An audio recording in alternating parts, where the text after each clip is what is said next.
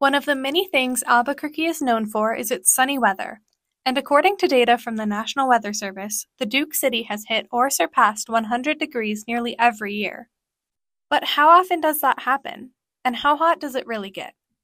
Based on temperatures measured at the Albuquerque International Sunport, the hottest recorded day in Albuquerque was 107 degrees on June 26, 1994.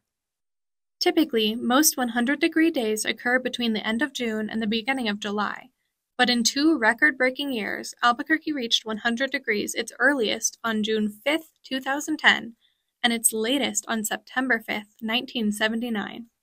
2024 came close to breaking the early record, reaching 100 degrees for the first time on June 6th.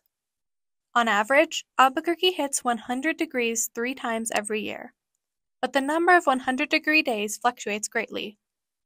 The year that had the most 100 degree days was 1980, when the Duke City hit 100 degrees a whopping 28 times. The most recent year without a 100 degree day was 2008. To find out more, visit krqe.com.